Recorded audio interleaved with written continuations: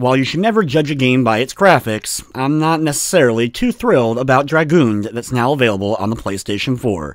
But does this one end up surprising me, or is this just another stinker on the system?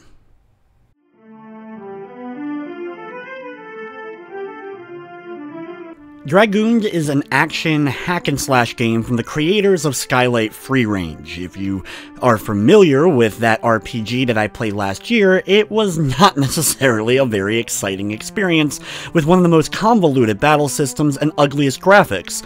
A lot of the character models look identical to the ones that we saw in Skylight Free Range here in Dragooned. The game does feature an impressive 40 character roster, and you're able to select three characters that jump into an endless dungeon. From here, you travel from room to room that really only varies in color and texture of the platforms you're jumping on, with a variety of monsters increasing in difficulty the more levels you make it in. Every five levels, you'll face off with a boss, which is just another one of the random characters from the game. If you're able to defeat them, you can save your progress and continue onwards, in which case if you end up game overing, you can load back to wherever you last defeated a boss, so every 5 levels you kinda have a checkpoint system. The game does feature multiple difficulties, and since it is an endless dungeon, you can play forever, and there are a few other modes as well. The combat itself, though, is just so clunky. It just seems like nothing is working correctly. Each character kind of works on their own throwing attacks and just lucky enough if your hitboxes end up hitting. It looks very awkward, it's glitchy, you're constantly going through one another, and timing is all over the place when it comes to one of the only interesting aspects, the blocking system. The attacking and combat in general, though, is very simple. Each character only has a couple of attacks. Some can aim and fire out in different directions, but for the most part, part, you just have a basic attack, a strong attack, and then a special berserk-like attack that you can unleash once you fill up a meter.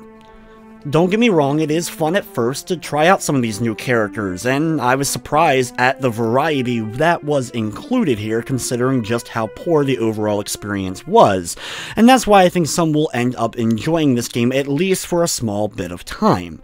The other modes included here include Onslaught and Skirmish. Onslaught is just you select a character and take on wave after wave of endless enemies, seeing how long you're able to survive.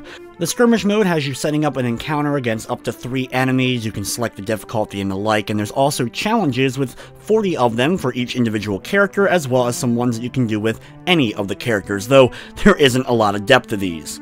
From the technical side of things though, the game didn't crash on me, it just really wasn't that fun to play, and it's kind of a clunky mess overall.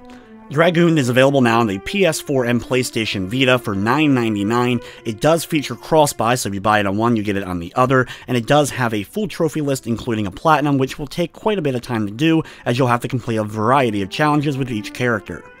Dragooned is much better as far as a gaming experience for me than Skylight Free Range was last year. However, it's really hard to recommend this game, especially at the $9.99 price tag. If you can get it on sale and it looks even remotely interesting to you, you may end up enjoying it for a bit of time. But with everything said, I'm going to be giving Dragoon a 3 out of 10. But anyway guys, it's going to wrap up this review. I'd like thank you for watching, and of course, I hope you enjoyed.